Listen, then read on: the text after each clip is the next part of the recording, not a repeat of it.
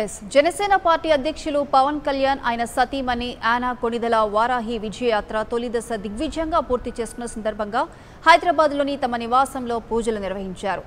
శాస్త్రోక్తంగా చేపట్టిన ఈ ధార్మిక విధులను పవన్ కళ్యాణ్ ఆనా కొణిదల దంపతులు నిర్వర్తించారు. కొద్ది రోజుల్లో వారాహి విజయయాత్ర తదుపరి దశ కూడా మొదలవుతుంది.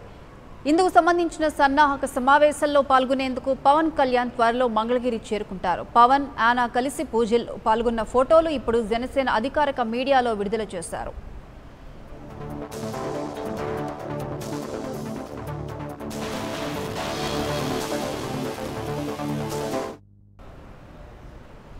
పార్టీ సంస్థాగత మార్పుల్లో భాగంగా తెలంగాణ